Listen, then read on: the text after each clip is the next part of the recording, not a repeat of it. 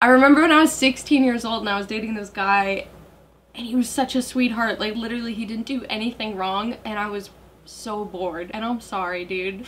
It wasn't you. Uncomplicated is a song that's basically about wanting a relationship that's really volatile and toxic and you think that that is what passion is about and you realize that you take out a lot of your own insecurities and cause issues to keep a fire alive but it ends up actually really tainting a relationship. We don't want the whole song to just be about, you know, romanticizing or glorifying that mm-hmm. toxicity, mm.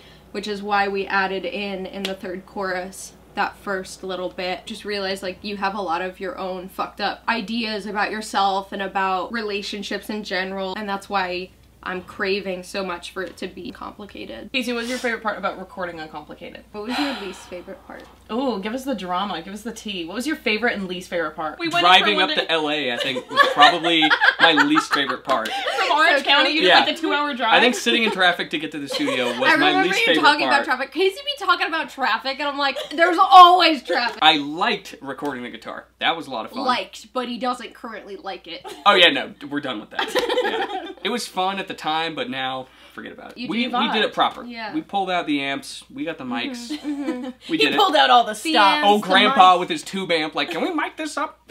Like a hundred watts.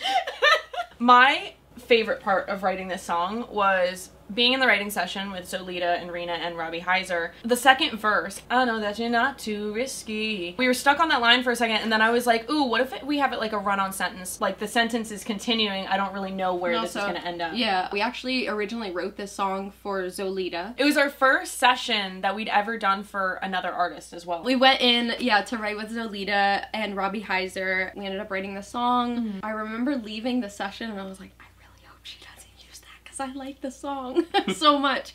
Can we just yoink that back? And we did, and she was cool with that. And then Uncomplicated was properly born.